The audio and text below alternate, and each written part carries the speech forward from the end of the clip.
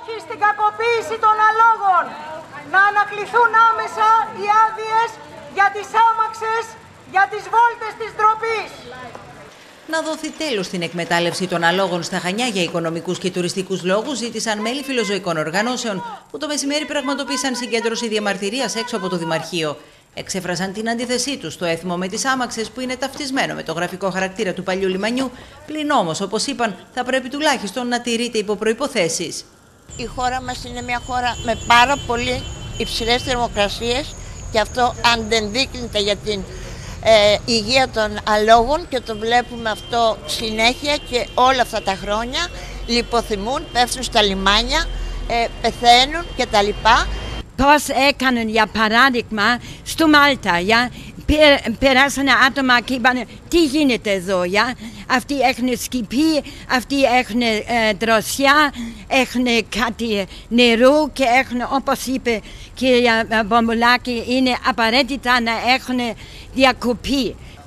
Οι φιλοζωικές οργανώσεις θέτουν θέμα κατάργησης των αμαξών στο παλιό λιμάνι, αλλά στην παρούσα φάση ζητούν η αφετηρία να μεταφερθεί σε σημείο σκιερό τις μέρες που η θερμοκρασία είναι πάνω από τους 30 βαθμούς, οι άμαξες να ακινητοποιούνται, όπως επίσης να υπάρξει μείωση του ωραρίου.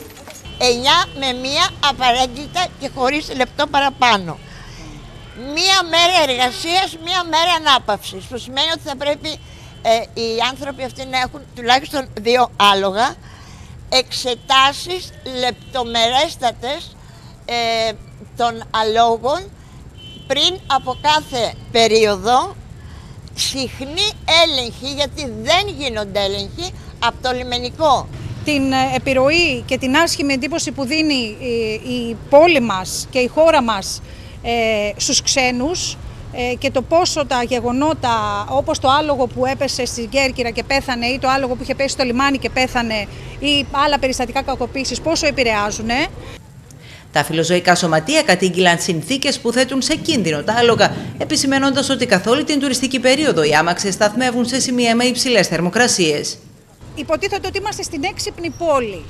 Ε, η έξυπνη πόλη λοιπόν δίνει άδεια σε ανθρώπους να χρησιμοποιούν τα πιο ευαίσθητα, τα πιο αγέροχα, τα πιο ελεύθερα ζώα, να τα έχουν δεμένα από το πρωί ως το βράδυ, ζεμένα σε άμαξες, στον ήλιο, χωρίς νερό, ε, για να τα εκμεταλλεύονται κάποιοι να βγάλουν χρήματα. Αν λοιπόν νομίζει ο Δήμαρχος και η ομάδα του ότι αυτή είναι η έξυπνη πόλη και ότι αυτό μπορεί να παρουσιάσει στο εξωτερικό για έξυπνη πόλη, δεν έχω τίποτα άλλο να πω. Λυπάμαι πάρα πολύ για αυτήν την κατάσταση. Η φιλοζωική κοινότητα της χώρας διεκδικεί την ύπαρξη θεσμικού πλαισίου για τα άλογα και με αφορμή το πρόσφατο περιστατικό στην Κέρκυρα επαναφέρει την ανάγκη αλλαγής του πλαισίου για τη χορήγηση αδειών σε αμαξάδες.